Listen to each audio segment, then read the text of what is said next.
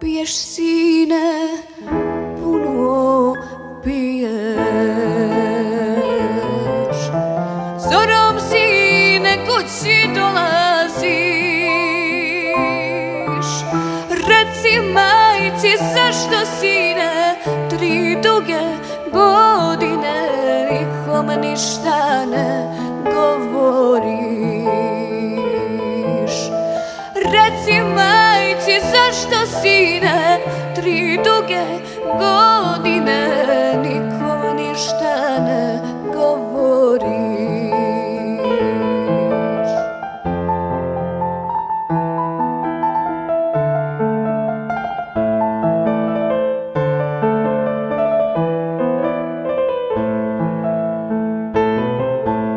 Reći ću ti samo ti da znaš.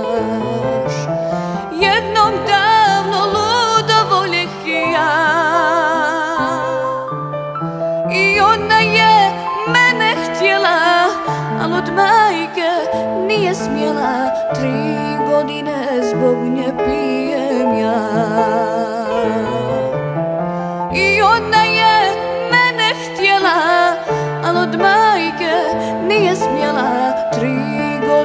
zbog nje pijem ja.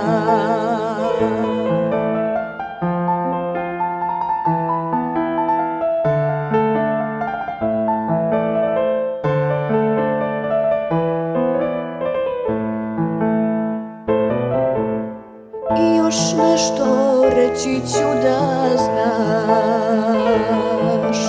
Sa drugim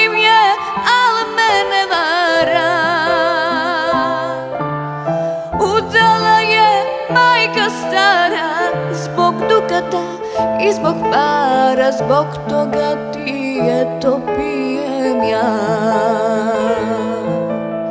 Udala je majka stara Zbog dukata i zbog para Zbog toga ti eto pijem ja. Zbog toga ti